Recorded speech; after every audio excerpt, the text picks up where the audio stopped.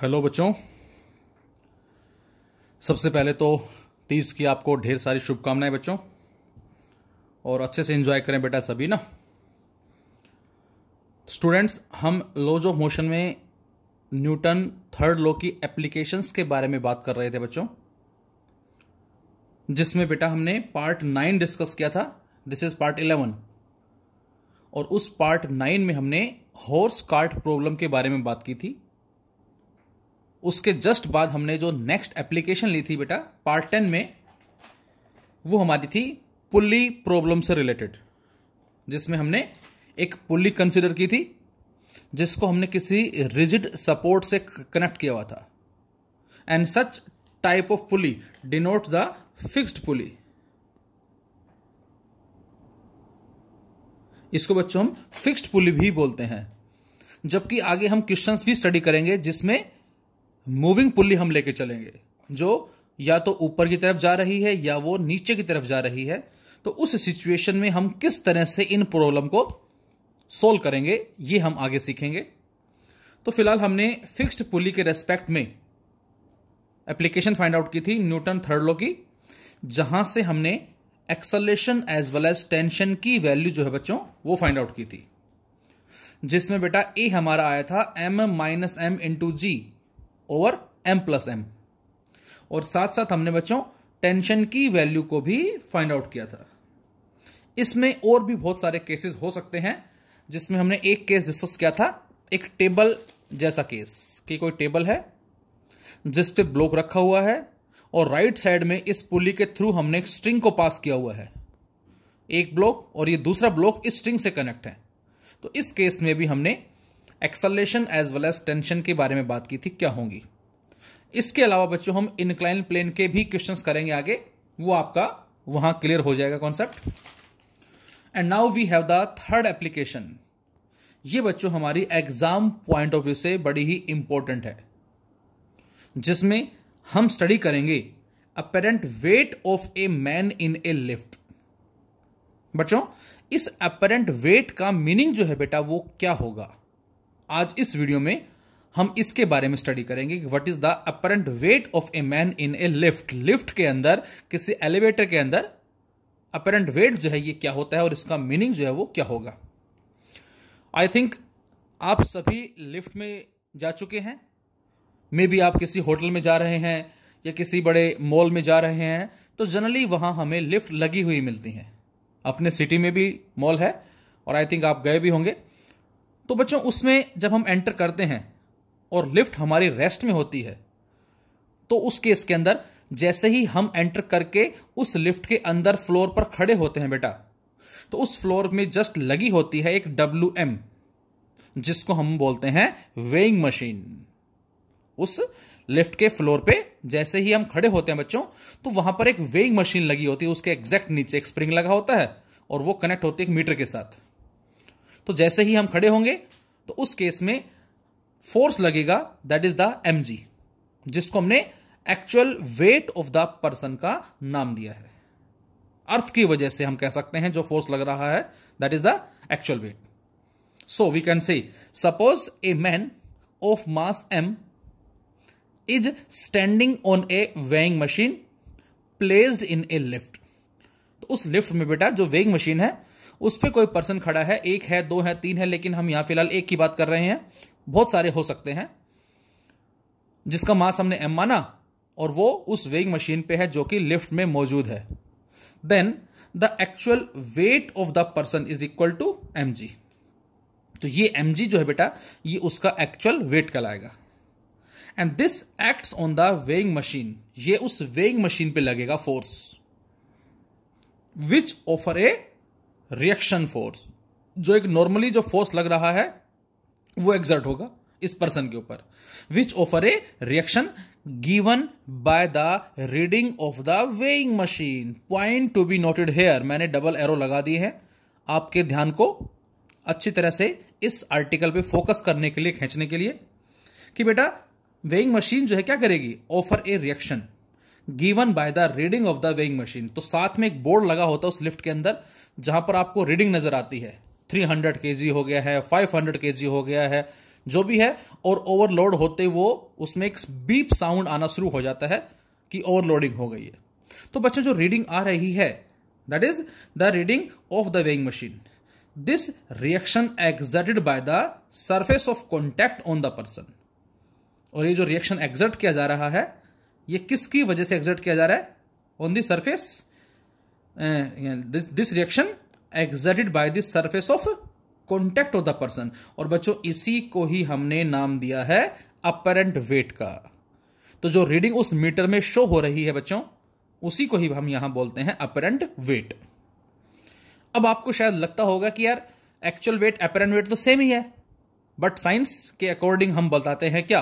कि ये apparent weight भी डिफरेंट डिफरेंट होता है डिपेंड करता है कि लिफ्ट रेस्ट में है या फिर वो यूनिफॉर्मली मूव कर रही है यूनिफॉर्म वेलोसिटी से मूव कर रही है मीन्स या फिर ये कहेंगे वो एक्सलेट कर रही है अपवर्ड या डाउनवर्ड तो बच्चों, उस रीडिंग की जो वैल्यू है बेटा, वो भी डिफरेंट डिफरेंट होती है। डिपेंड करता है एक्सलेटेड अपवर्ड मोशन है या एक्सलेटेड डाउनवर्ड मोशन है। कैसे जरा देखें आज हम। तो बेटा, हमने फिर से मैं रिपीट करता हूँ कि जब भी कभी कोई पर्सन जिसका मास एम है, वो किसी वेइंग मशीन में खड़ा है जो कि लिफ्ट में मौजूद है। तो उस केस में जो फोर्स लगेगा एक्चुअल वेट जो होगा that is the M G this act on the weighing machine which offer a reaction R या एन बोल दो आप. Given by the reading of the weighing machine और उसी को ही हमने अपरेंट वेट का नाम दिया है. तो यहाँ से बेटा डिफरेंट डिफरेंट केसेस जो है, वो अराइज होते हैं हमारे. जिसमें हमने लिया बच्चों case number first when the lift is accelerating upward. हमने माना ये लिफ्ट है ये पर्सन है ये नीचे वेइंग मशीन नज़र आ रही है आपको ये कंप्लीट लिफ्ट हमारे पास है और ये हो जाएगा बच्चों एम नीचे और ऊपर की तरफ़ क्या हो जाएगा बेटा? तो आंसर ऊपर की तरफ़ आ जाएगा आर सो so, नीचे की तरफ़ एम ऊपर की तरफ़ आर और एरो ऊपर लगाया ए लिखा मैंने इसका मतलब क्या है? The lift is accelerating upward अब आप खुद बताएँ फ्री बॉडी डायग्राम के बिहाफ पे मैं आपसे कहूँ यहाँ से इक्वेशन लिख के बताए क्या होगी। ऊपर जा रहा है। इसका मतलब क्या होगा? R minus M G and which is equal to F net and F net is mass into acceleration तो यहाँ से लिख सकते हैं बेटा, इक्वेशन बना के हम। ऊपर की तरफ़ मोशन है। R minus M G equal to M A तो बेटा, यहाँ से मैं कहूँ आर की वैल्यू क्या होगी बच्चों? तो इस एम जी को आप राइट साइड में ले आए। और जैसे ही एम इधर आएगा बेटा तो आर बराबर आ जाएगा। M G plus M A हमें तो इस आर से मतलब है। Because this R is the apparent weight यही अपरेंट वेट है। तो यहाँ से R minus M G equal to M A then R equal to M G plus M A so we can say R equal to M into G plus A यदि मैं आपसे कहता हूँ कि उस पर्सन का जो एक्चुअल वेट है, वो 50 न्यूटन है। एक्चुअल वेट मतलब उसका जो एक्चुअल वेट है वो हमने कितना मान लिया? सपोज़ 50 न्यूटन मान लिया एज्यूम कर लिया हमने। कोई बच्चा मान लेते हैं, कोई ब्लॉक मान लेते हैं, जिसका मास कितना है? फाइव किलोग्राम और जो जी है बेटा, वो हमने टेन मान ली। तो five into ten that is fifty first अब हमने ए की वैल्यू मान ली बच्चों two meter per second square कि अब जो एक्सलेशन है, यदि उसको हम टू माने तो यहाँ ten plus two that is twelve twelve into five sixty. तो इसका मतलब हमें जो रीडिंग मिलेगी, वो सिक्सटी न्यूटन की मिलेगी। तो यहाँ से साफ़ पता लग रहा है आपको कि अपेरेंट वेट जो है वो एक्चुअल वेट से ज़्यादा है। ये इसके बराबर कब आता बेटा? ये इसके बराबर तब आता जब एक्सलेशन ज़ीरो होता। अब आप ये सोचें बच्चों कि एक्सलेशन ज़ीरो होगा, इसके दो मीनिंग है। पहला मीनिंग हो सकता है लिफ्ट रेस्ट के अंदर है। और जब लिफ्ट रेस्ट में होगी बेटा तो ए ज़ीरो और जब बच्चों ए ज़ीरो होगा तो उस सिचुएशन में हम कह सकते हैं R equal to M G मतलब उस रीडिंग जो मिलेगी हमें उस मीटर में, वो कितनी मिलेगी? फिफ्टी मिलेगी। कब? जब एक्सलेशन ज़ीरो है। मीन्स लिफ्ट रेस्ट में है। लेकिन मैं यदि ये कहूँ कि वो लिफ्ट ऊपर जा रही है या नीचे आ रही है with a constant velocity V constant है यूनिफॉर्मली तो बेटा, जब भी वी कांस्टेंट है तो बच्चों, उस सिचुएशन में भी ए क्या होता है? ज़ीरो तो उस सिचुएशन में भी हम बोल लेंगे R equal to M G तो इसका मतलब ये हुआ कि अपेरेंट वेट और एक्चुअल वेट दोनों बराबर दो ही केस में हो सकते हैं। या तो बेटा लिफ्ट रेस्ट के अंदर हो, और या लिफ्ट यूनिफॉर्मली जा रही है ऊपर या नीचे। इन दो सिचुएशन में ही केवल और केवल आर एम जी के बराबर होगा। जबकि हमने सिचुएशन क्या ली? कि लिफ्ट एक्सलेट कर रही अपवर्ड तो equation R minus M G equal to M A so we can say R equal to M G plus M A और finally R is greater than M G यदि M जी की value fifty है बेटा तो are की value sixty आएगी। कब? जब मास फाइव मानते हैं हम और ए को हम टू मानते हैं। इसके अलावा मास को इंक्रीज कर देंगे तो उसके हिसाब से आप आर की वैल्यू को फाइंड आउट कर सकते हैं। Situation number two when the lift moves down with an acceleration A अब बच्चों, इस केस में हमने माना कि लिफ्ट नीचे आ रही है विद एन एक्सलेशन ए अब नीचे एम जी ऊपर आर तो अब आप बताएँ इक्वेशन क्या बनेगी बेटा? अब बन जाएगी M G minus R equal to M A बच्चों। बोलो। नीचे की तरफ़ है M G minus R equal to M A हमें तो भैया आर से मतलब है। इस आर को उधर ले गए और इस एम ए को इधर ले आए बेटा। तो यहाँ से आर उधर आ गया एम ए इधर। So M G minus M A equal to R so R equal to M into G minus A वही पहले वाला एग्ज़ाम्पल ले ले हम। सब कुछ सेम है। Mass five G ten acceleration two तो ten minus two that is eight eight into five forty तो इसका मतलब इस बार जो रीडिंग हमें मिलेगी उस मीटर में, वो बेटा हमें फोर्टी न्यूटन की रीडिंग मिलेगी। जबकि एक्चुअल है क्या? Fifty. So we can say in this situation R that is apparent weight is less than actual weight जबकि इस सिचुएशन में क्या था बच्चों? Apparent weight is greater than actual weight तो इसमें ज़्यादा होगा अपरेंट वेट इसमें कम होगा। Case number third and the case number third is when the lift falls freely बेटा। अब यदि लिफ्ट फ्रीली फॉल हो मतलब जो लिफ्ट की जो रस्सी है, वो टूट जाए बीच में से तो उस केस में लिफ्ट फ्रीली फॉल करेगी, बेटा। और जब फ्री फॉल करेगी तो हमारा जो कॉन्टैक्ट होता है उसके फ्लोर से, वो टूट जाएगा, हट जाएगा। कॉन्टैक्ट मैंने लिख दिया साइड में, हट जाएगा। और कॉन्टैक्ट हटते ही क्या होगा? देखें जरा। तो जब लिफ्ट फ्रीली फॉल होगी मतलब नीचे की तरफ़ आ रही है। और जब नीचे की तरफ़ आ रही है तो बेटा इस सिचुएशन को हम बोलते हैं कि जो एक्सलेशन होता है that is equal to acceleration due to gravity और अभी अभी जस्ट हमने नीचे की इक्वेशन लिखी है ये वाली। जब नीचे की तरफ़ आती है तो एम जी माइनस आर बराबर एम ए तो आर बराबर M G minus M A या R equal to M into G minus A अब जी और ए दोनों बराबर हैं तो बेटा आर क्या आ जाएगा? इस सिचुएशन में ज़ीरो आ जाएगा। तो बच्चों आर की वैल्यू ज़ीरो हो जाएगी। इस बात का मतलब है कि हमारा स्लाइटली कॉन्टैक्ट यहाँ से टूट जाएगा। लिफ्ट से थोड़ा सा स्लाइटली ऊपर हो जाएँगे हम। हम ऐसा बोल सकते हैं। तो लिफ्ट फ्री फॉल कर रही है बेटा।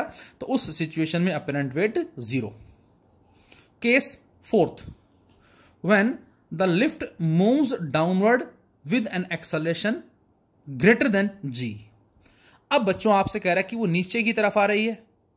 इसमें फ्री फॉल था। आर की वैल्यू ज़ीरो इसमें नीचे आ रहा है, लेकिन ए जी से ज़्यादा है।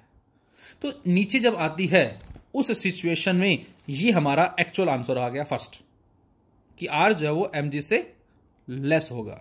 यदि एम जी फिफ्टी है तो आर की वैल्यू उससे कम आएगी फोर्टी आएगी। उसके बाद हमने देखा कि जब ए की वैल्यू जी के बराबर है तो फोर्टी से सीधा ही आंसर हमारा ज़ीरो हो गया। और अब इस सिचुएशन में नीचे भी आ रही है और जो एक्सलेशन जो है वो जी से ज़्यादा है। तो पहले तो इक्वेशन बताएँ क्या आएगी। नीचे आ रहा है M G minus R equal to M into A then R equal to M G minus M A so R equal to M into G minus A अब चूँकि ए जो है बेटा, वो जी से ज़्यादा है तो जी माइनस ए नेगेटिव आ जाएगा बच्चों। तो इसका मतलब इस सिचुएशन में जो आर है बेटा, वो नेगेटिव हो गया। और आर ज़ीरो है, इसका बात का मीनिंग क्या था? इसका मीनिंग था इस पर्सन का कॉन्टैक्ट टूट गया। स्लाइटली कॉन्टैक्ट है, ना के बराबर कॉन्टैक्ट है नेग्लेजिबल और नेगेटिव का मतलब तो नेगेटिव का मतलब बच्चों ये है क्या?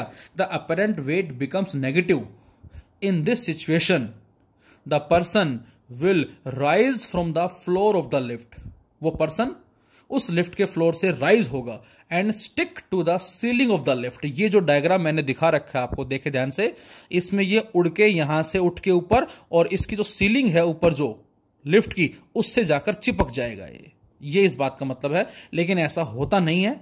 लेकिन फिर भी हम यहाँ पर ये जो केस है बेटा, ये डिस्कस कर रहे हैं। आर की वैल्यू नेगेटिव में चली गई। तो इसका मतलब है कि वो पर्सन वहाँ से उठ के कहाँ जाएगा? राइज होके वो उस लिफ्ट की सीलिंग से जाकर चिपक जाएगा। ये इस बात का मीनिंग होगा। This is case number fourth case fifth when the lift is at rest ये अभी जस्ट हमने बात की कि बच्चों, जब लिफ्ट रेस्ट के अंदर बेटा तो एक्सलेशन ज़ीरो है। और जब एक्सलेशन ज़ीरो है so R minus M G equal to zero बोल दो, या M G minus R equal to zero बोल दो और we can say R equal to M G तो इस सिचुएशन में ही अपेरेंट वेट बराबर होगा एक्चुअल के। इसके साथ साथ दूसरी सिचुएशन मैंने अभी जस्ट क्या बताई पीछे आपको? वो बताई when the lift is moving uniformly in upward और डाउनवर्ड डायरेक्शन या तो लिफ्ट ऊपर जा रही है, या लिफ्ट नीचे आ रही है यूनिफॉर्मली वीक कांस्टेंट है यहाँ।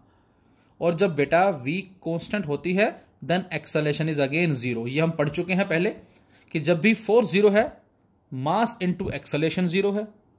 एक्सलेशन ज़ीरो है, इस बात के दो मतलब है, या तो वो रेस्ट के अंदर है, या वो कांस्टेंट वेलोसिटी से ट्रेवल कर रहा है।